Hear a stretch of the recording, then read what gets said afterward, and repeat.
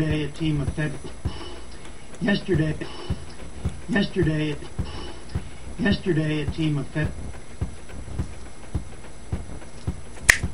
Federal scientists released a report estimating that the size of the Gulf spill had surpassed that of the 1989 Exxon Valdez disaster, making it the worst in U.S. history. But the full extent of the damage to the environment is only slowly becoming clear, with many questions still unanswered. We get more on that now from David Hollander, professor of chemical oceanography at the University of South Florida's College of Marine Science. AKA Professor Jack Hollander, Nicholson. Welcome to you. I, would like you to start by explaining to us the discovery by your team of scientists of a plume of oil below the surface. Now, what does that mean exactly? Yeah, so uh, first of all, I'd like to clarify uh, the vision of having this dark uh, crude oil plume uh, in the subsurface is not uh, at all what is uh, what is what is actually going on.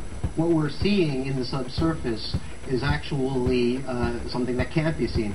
The hydrocarbons are actually dissolved in the water, so the hydrocarbons which are actually in the in the water itself are invisible. In other words, they can't be seen, but they are uh, they are easily detected uh, by our sensors, which can detect uh, organic matter that is dissolved in seawater. And what we were able to see. No, go ahead. Go ahead. I was saying we were able to see uh, this dissolved organic matter in the water. Uh, down to a depth of 1,400 meters, all the way up to the surface, uh, with a maximum uh, below the surface at 400 meters. And this is quite extraordinary to have the, that kind of uh, dissolved organic uh, material in the water column, specifically hydrocarbons. A team of our researchers were uh, 15 uh, kilometers to the east of the well site the year before, and they had no detectable dissolved hydrocarbons in the water. So the, uh, the this finding is, is significant.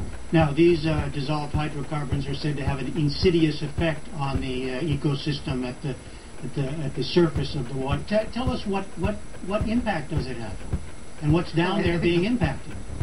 Well, I, I think the context of insidious was meant that uh, was was put in in the context that the surface. Uh, one effect of the spill, of course, is the surface response, where you see uh, the the degraded oil, you see uh, the oil sheen, and it's something that's trackable, something that that's that that where you see it, uh, you can clean it. Uh, this is insidious in the sense that it is invisible. Uh, it can't be seen uh, with the naked eye. You need instrumentation. You need analyses to be able to see this. So the impact of, of these uh, of these dissolved hydrocarbons in the in the subsurface ocean uh, is obviously something that we're we're tracking. Its influence depends very much on what is its concentration. So all of these sensors where we have detected, which we have used to detect the hydrocarbons, uh, are also complemented by physical water samples which are being analyzed in the laboratory as we speak, and we should have results to confirm these findings uh, within two weeks. What do you worry? Uh, what do you worry about? What tell us? Give us a sense of the ecosystem that you're looking at, and and, and what you fear in terms of impact. I think our, our, our largest fear uh, of impact is if indeed these dissolved hydrocarbons are actually able to get to shallower depths uh, at high concentrations, uh, such that they're at 200 meters or 100 meters and are able to actually impact the continental slope, impact the continental shelves, uh, and that is uh, in particular where there's a lot of habitat for fisheries. Uh, and that is also a, a, uh, a, a major consideration is uh, when you have these dissolved hydrocarbons, they can have a toxic effect, especially on small organisms like phytoplankton, like fish larvae. So one of the effects could indeed be just a toxic effect, uh, it being too toxic for them.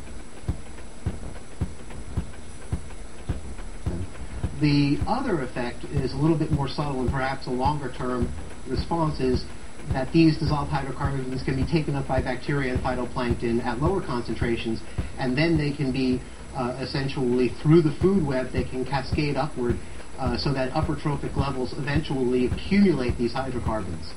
Now, there this isn't normal for oil spills, correct? For the oil to remain under the surface, uh, to be invisible, to dissolve like that. Are there theories about what's going on in this case? Is it because of the, the depth that it's all happening at?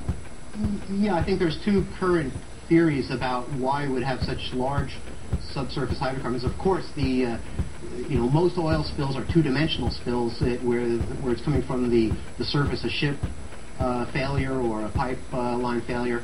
But this, where there's a blowout at such great depths, uh, there's a couple of there's a natural process called emulsification where you can have a reaction between at high pressures between the uh, the gas, uh, the seawater, and the petroleum, which could actually create uh, sort of an oil-water uh, hybrid, which behaves not like oil but behaves more like water, and could essentially become neutrally and buoyant in seawater. In other words, it could be residing uh, stably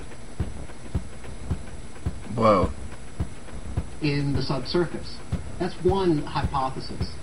Uh, another uh, hypothesis is that uh, with the use of dispersants, which essentially are a cocktail of organic solvents and detergents, uh, with the uh, unprecedented use of the dispersants at great depths, and I should comment that these dispersants are, ver- are used very effectively uh, on surface oil uh, for appropriate applications. It's, uh, it's, it's, it's exactly the right thing to use. But the application of these dispersants at great depths, uh, we do not know the physical chemical interactions that were actually going on with the dispersant uh, relative to the oil.